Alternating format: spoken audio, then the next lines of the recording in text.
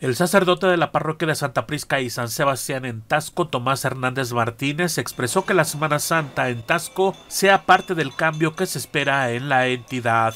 Reconoció que durante estos días de actividades extralitúrgicas acuden a Tasco miles de personas de varias partes de México y el mundo a presenciar los actos. La entrega y el servicio de las personas de Tasco en todos sus proyectos se preparan con mucho tiempo,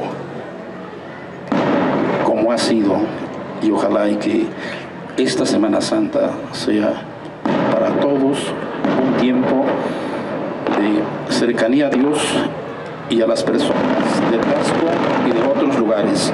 Vienen miles y miles de personas de otros países porque vale la pena, señor obispo, en Tasco indicó que tratarán de que las actividades de la Semana Mayor se realicen en paz, con fe y tranquilidad, como se hace en Tasco.